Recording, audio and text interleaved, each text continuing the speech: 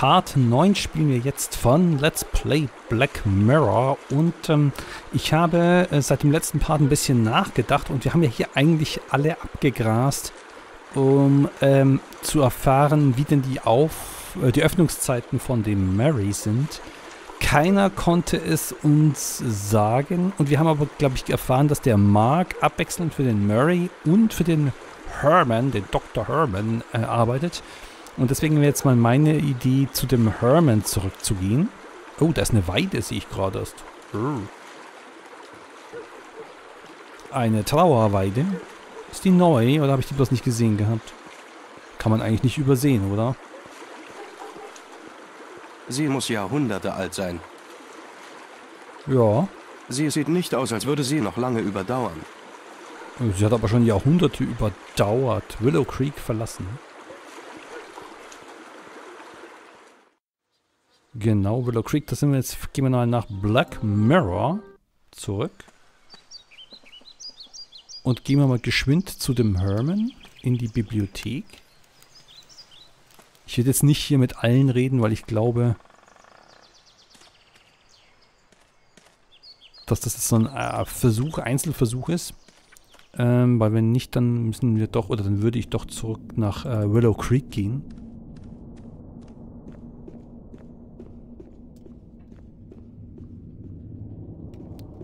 Herman? Wo hast du dich versteckt? Da ist er. Können wir dich nach Mark fragen, Herman? Herman hat versprochen, dass der Bote Williams Paket um genau 7 Uhr zum Haupttor bringt. Ich muss pünktlich dort sein. Ah, aber ich kann nicht mit ihm reden. Herman hat versprochen. Ich nee. Schade, das war nur so eine Theorie. Gut, dann gehen wir nach Willow Creek zurück. Dann muss da irgendwo die Lösung sein für äh, Marys Öffnungszeiten. Wir könnten jetzt vielleicht noch den Robert fragen, ob er es weiß, aber ich glaube, das ist eher unwahrscheinlich.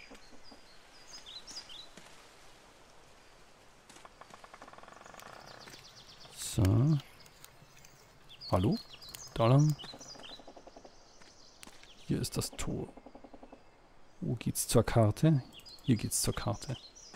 So. Äh, hallo? So. Oh. Ach, wir können auch zur Kirche von Warm Hill. Ah, da könnten wir den Pfarrer und den Totengräber befragen, oder? Ah. Dietmeier, sonst kann ich aber nirgendwo hin. Die drei Orte sind es wohl, oder? Vielleicht taucht hier ja noch was auf. Also dann gehen wir doch mal zur Kirche von Warm Hill. Warmer Hügel. Die äh. Pfarrkirche von Warm Hill. Eindeutig. Zum hinteren Friedhof. Da hören wir auch schon jemand buddeln, oder? Haupteingang. Kirche betreten. Oh, sehr imposant. Sollen wir gleich zum Friedhof gehen? Der Haupteingang ist geschlossen. Er wird nur sonntags geöffnet. Ich ah. muss den Seiteneingang benutzen. Okay, das heißt, wir wissen, dass es jetzt nicht Sonntag ist. Äh, dann gehen wir doch mal zum hinteren Friedhof. Hallo, ist da jemand? Grabsteine. Zu Williams Grab. Die in den Stein eingemeißelten Namen sind nicht mehr lesbar. Mhm. Alter Baum. Seine Äste breiten sich traurig über die Gräber aus. Mhm.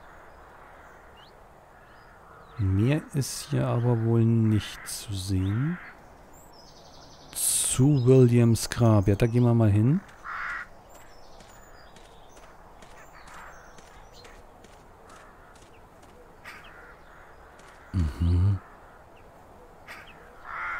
Gruft. Das Grab von Jeremy Gordon. Ich weiß nicht mehr genau, wie sein Vater hieß. Grabstein. Samuels Vater, meine ich. William Gordon.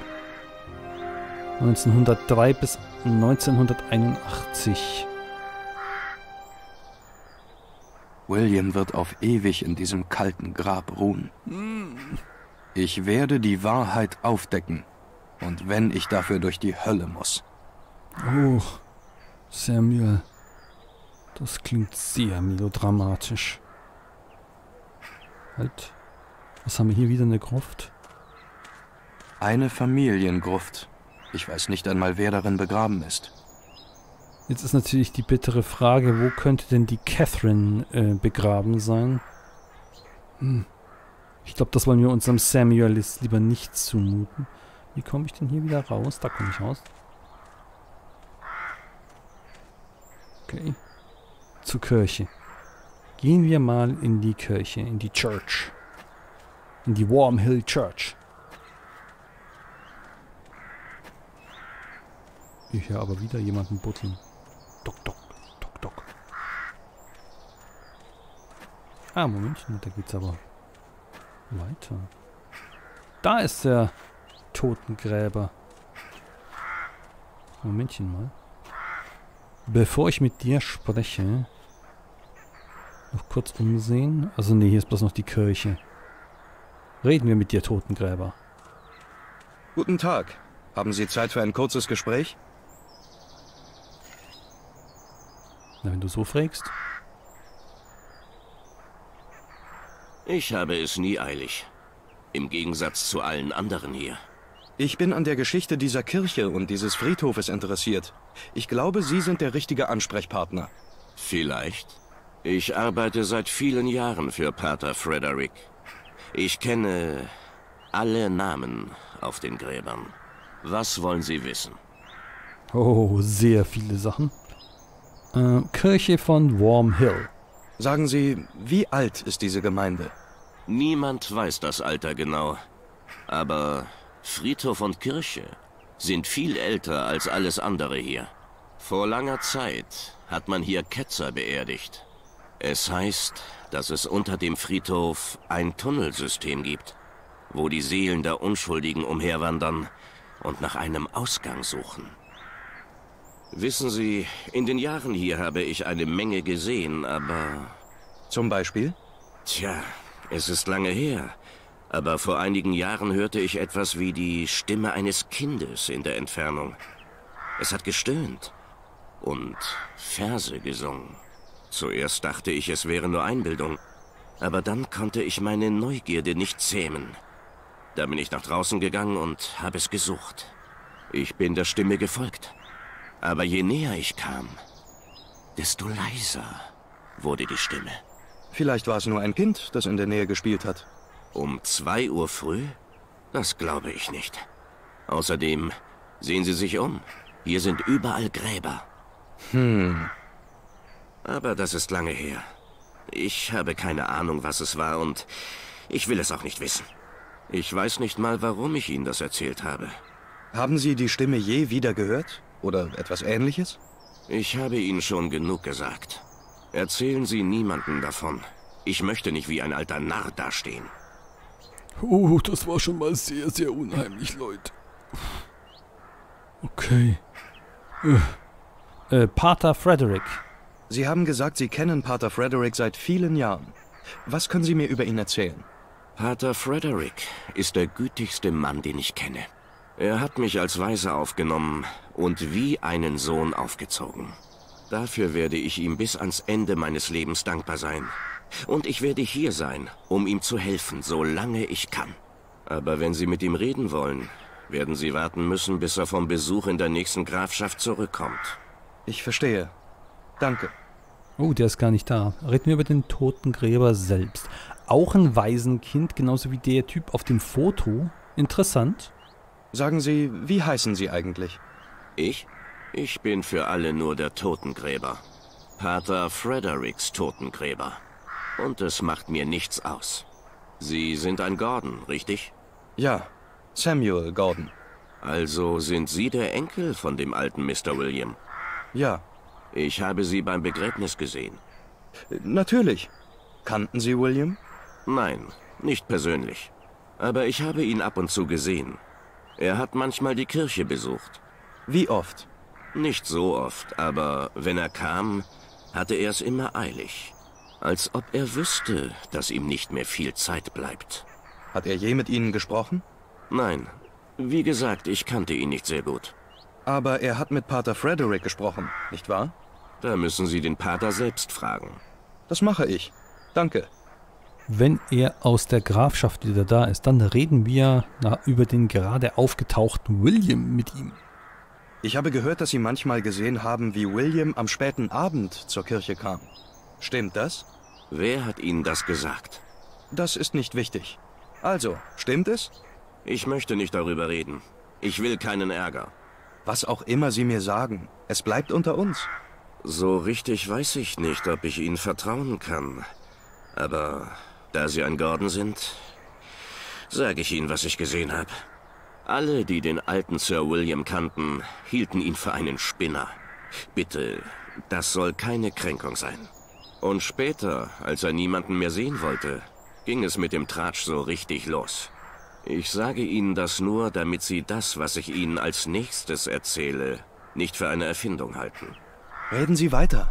Das erste Mal habe ich ihn hier vor sechs Monaten gesehen. Ich saß in meiner Hütte, wollte gerade ins Bett. Da habe ich ein Licht gesehen. Jemand ging auf die Kirche zu. In den 20 Jahren, die ich hier arbeite, ist niemand so spät am Abend gekommen. Also ging ich nach draußen, um zu sehen, was los war.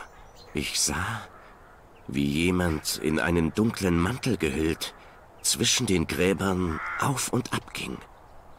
Er ging tief gebeugt. Er suchte etwas. War es William? In dem Moment hatte ich keine Ahnung, wer es war. In der Dunkelheit konnte ich sein Gesicht nicht sehen. Er war ungefähr 20 Minuten lang hier, lief herum und murmelte vor sich hin. Was hat er gesagt? Tja, ich habe ihn aus der Ferne beobachtet. Es war nicht zu hören. Und was passierte dann? Die Kirchentür öffnete sich und er ging gleich darauf zu. Ich bin ihm vorsichtig gefolgt. Pater Frederick stand in der Tür. Es kam mir so vor, als hätte er diese Person erwartet. Erst dann erkannte ich, dass es Sir William war. Ich war jetzt nahe genug, um seine Stimme zu hören. Er und der Pater führten ein langes Gespräch, und dabei fuchtelte Sir William wild mit den Händen herum. Schließlich gingen sie hinein. Das war alles, was ich gesehen habe. Wissen Sie sonst noch etwas? Ich stecke meine Nase nicht in anderer Leute Angelegenheiten. Na gut. Danke, dass Sie mir das erzählt haben. Ich habe es Ihnen nur gesagt, weil Sie Sir Williams Enkel sind. Jetzt gehen Sie bitte. Ich muss meine Arbeit hier zu Ende machen. Warum hat William sich mitten in der Nacht mit Pater Frederick getroffen? Nachdem er äh, den Friedhof durchsucht hat. Hm, sehr seltsam. So, Kirche. Darf ich mich in der Kirche umsehen? Sie müssen warten, bis Pater Frederick wieder da ist. Bis dahin bleibt die Kirche abgeschlossen. Aber Sie könnten sie doch aufschließen, oder? Spielt keine Rolle. Sie bleibt abgeschlossen, wie Pater Frederick es angewiesen hat. Och, Menno. Ich gehe trotzdem mal hin. Aber das ist alles. Die Kirche ist abgeschlossen. Ja, war ja klar. Hm. Ja gut, dann war das jetzt mal ein kurzer Besuch hier in der Kirche von Warmhill. Moment, kann ich eigentlich... Ich kann jetzt nicht gehen. Nicht? Ich kann jetzt nicht gehen. Warum nicht?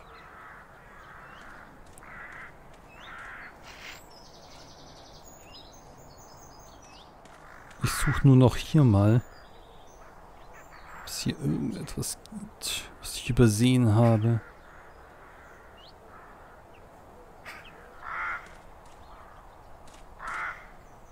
Hm. Grabstein. Grabstein.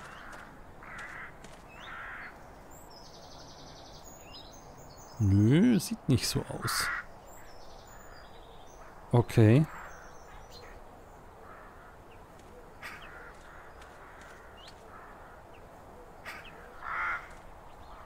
Kann ich denn jetzt gehen? Halt, Momentchen mal. K hätte ich dem Typen dieses Foto zeigen können? Ich glaube zwar nicht. Das hier.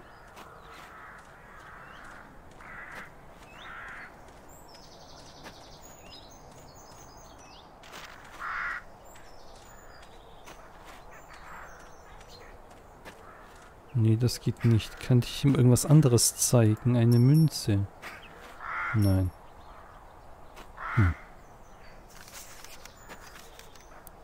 Das hier. Nein. Nee, hier ist nichts. Ich verlasse das gastliche Warmhill. Oder sollte ich eher sagen, das ungastliche? Denn äh, wir können ja hier nicht in die Kirche rein.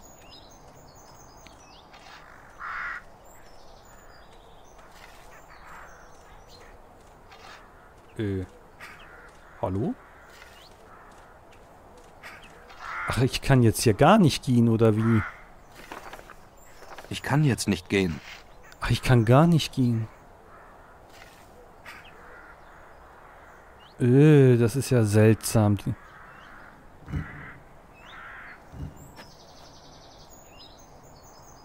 Da geht's nicht rein. Ähm. Ähm, ähm. Hallo? Was mache ich jetzt hier?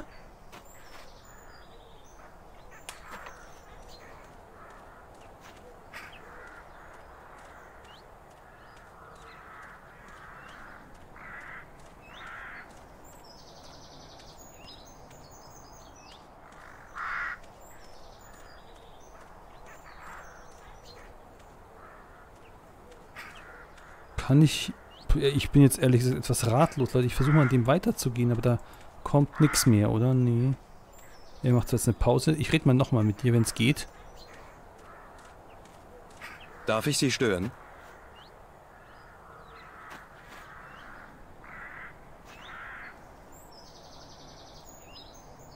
Nur kurz, ich habe viel zu tun.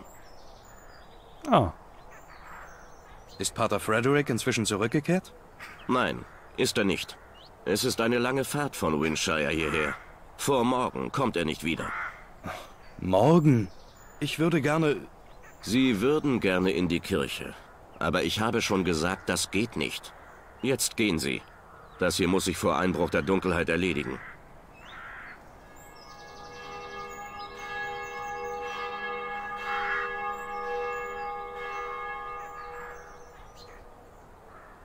Es ist sieben Uhr. Ich sollte zum Haupttor zurückkehren. Wenn Herman sein Wort hält, wartet sein Helfer dort auf mich. Ah, jetzt geht er automatisch. Ah. Sie sind Dr. Hermans Aushilfe, stimmt's? Ich bin nicht Dr. Hermans Aushilfe. Ich arbeite nur ab und zu für ihn. Sie sind Samuel Gordon, oder? Ich muss etwas abliefern. Ja, geben Sie es bitte mir. Ja, warum nicht? Mir ist es sowieso egal, wer Sie sind. Ich soll dieses Paket dem geben, der um sieben an diesem Tor steht. Damit ist mein Job erledigt. Nehmen Sie das, dann kann ich gehen. Warten Sie einen Moment. Sind Sie Mark? Ja, das bin ich. Warum? Harry hat gesagt, dass Sie in unserem Garten gearbeitet haben. Gelegentlich, ja. Na und? Ich habe eine Frage zu William Gordon. Was können Sie mir von ihm erzählen? Hm. Nichts. Ich kannte ihn kaum. Ich habe nur im Garten gearbeitet. Ich habe es eilig. Wollen Sie sonst noch etwas? Nein, danke. Gut, dann bis dann. Wiedersehen. Hoffentlich finde ich das, wonach ich suche. Hoffentlich.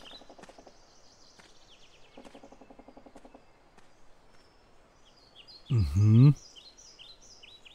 Schachtel. Du alte Schachtel.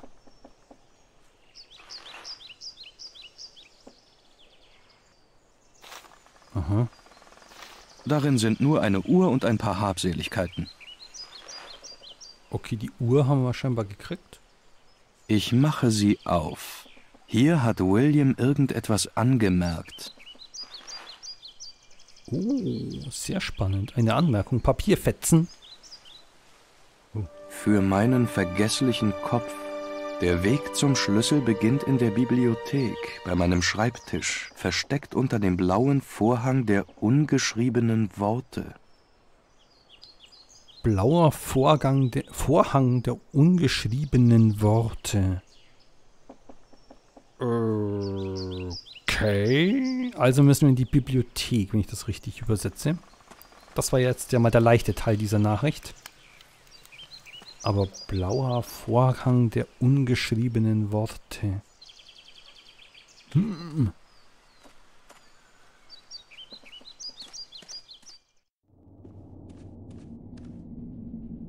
Ich versuche dann jetzt natürlich auch nochmal gleich mit Herman zu reden, mit Dr. Herman. Ah, oh, Dr. Herman ist weg. Also dann zum Schreibtisch. Äh, noch ein zweiter Samuel, bitte. Ah, hier. Blau. Das ist blau. Hinterer Abschnitt, ja, wir müssen schon...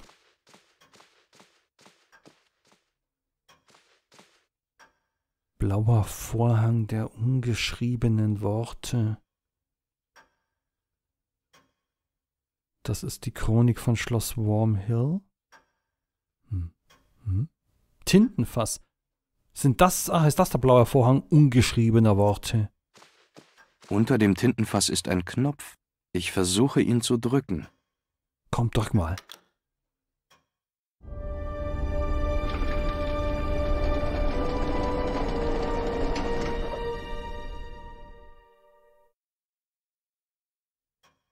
Okay, das wird wohl nicht die Minibar sein, Geheimschrank. Da ist eine Art Schachtel. Die nehme ich. Noch eine Schachtel. Mhm. Aus Hartholz gefertigte Modelle der Planeten unseres Sonnensystems. Ah, und das muss ich doch da hinten einsetzen. Wo war denn dieses Globusrätsel da? Da hinten, oder? Da war der doch.